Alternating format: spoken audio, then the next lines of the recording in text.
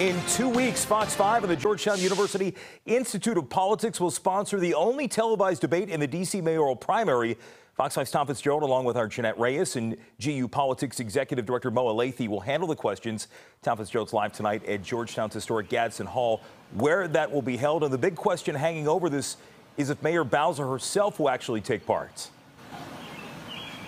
Well, hello there. Mayor Bowser, D.C. Council members Robert White and Trayon White were all sent invitations this past spring when the debate was announced. Now, the two council members accepted those invitations quickly.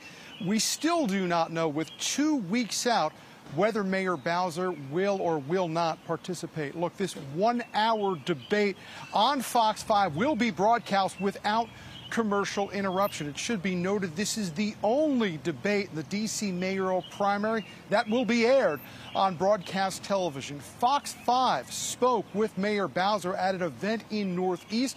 The mayor would not say at this point if she is attending. However, she did say she is still working on her debate schedule.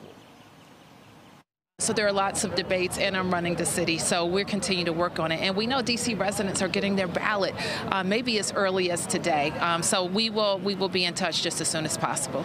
We look forward to seeing you Thank on June you. 1st, Mayor.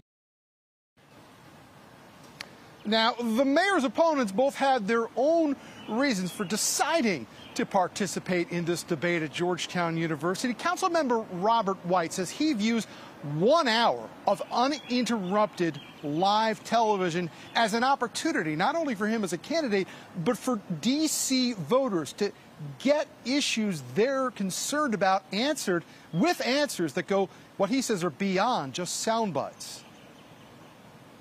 These are complex issues, and so you can't get these in a one-liner. It's hard to get them in community forums. You really need an opportunity to be on TV to have these hard discussions, and so people can see who's going to lead our city to the next level.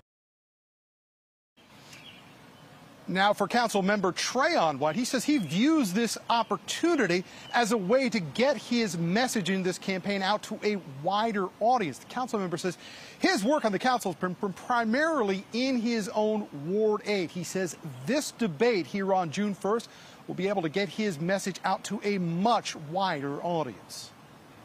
My career primarily has been east of the Anacostia River, um, but my fight is for all DC residents. And this platform gives me uh, with people the opportunity to, to see who I am, what I represent, my platform issues, and most importantly, my solutions. Now, this afternoon, the Georgetown Institute of Politics and Fox 5 opened registration for anyone who wants to attend this debate here at Georgetown University in person. To find that information, you can go to politics.georgetown.edu or log on to our website, fox5dc.com. We'll send it back into you.